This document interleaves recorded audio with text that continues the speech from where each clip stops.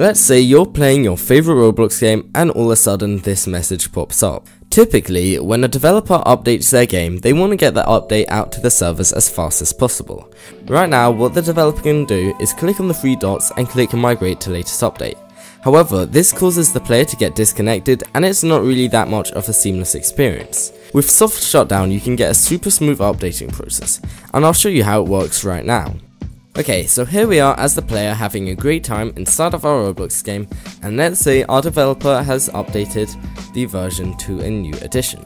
So what the developer is going to do is they're going to click on the three dots, and then they're going to click migrate to latest update, and then they're going to click on yes.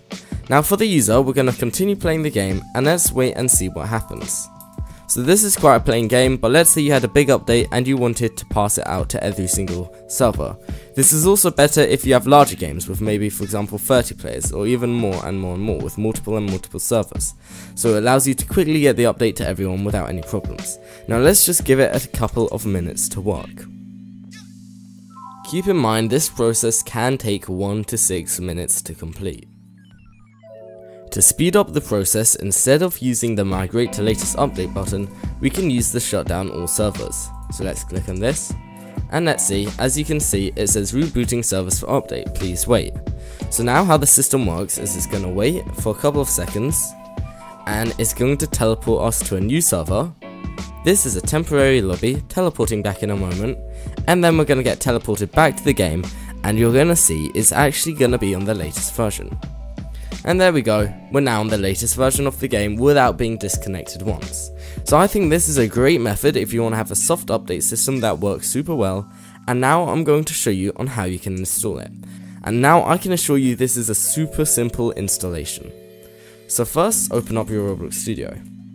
Once you're open, make sure you head to any game of your choice.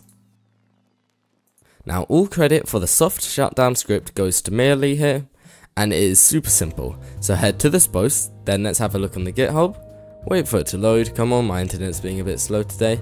Then once it's loaded we're going to copy the code, come on. Okay here we are, we can copy this code. Then once again we're going to head into a game of our choice, let's just do a base plate as an example.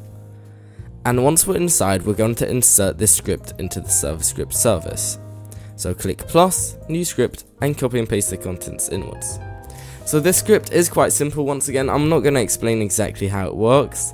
This is just the bare bones, so you could also make it look better if you wanted to.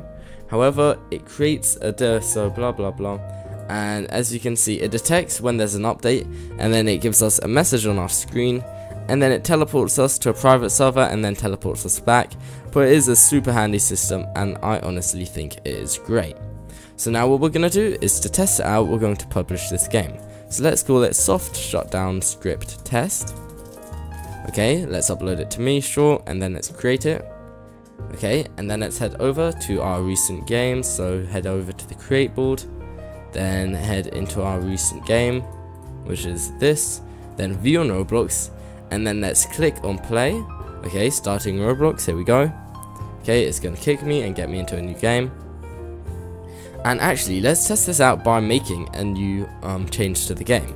So let's head back into Studio, and let's say I change the base plate to be red, for example. So let's click on red, and oh my god, that is not difficult to miss. Then we click File, and Publish to Roblox. You're going to notice, hey, nothing's changed, and that soft shutdown script hasn't taken into play. Well yes, that's exactly the point.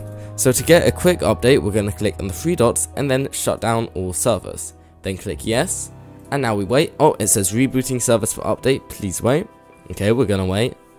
And then we're going to get teleported to our private server. Here we go. This is a temporary lobby, teleporting back in a moment. Okay, and we're going to go to the latest version. And... Come on. You can see that we have the new change. And it was seamless. Nobody got kicked. And I think that is a super cool system. So if you found this tutorial handy, feel free to leave us a like or a subscription. Um, if you want to support the channel, you can become a member for only $2 a month.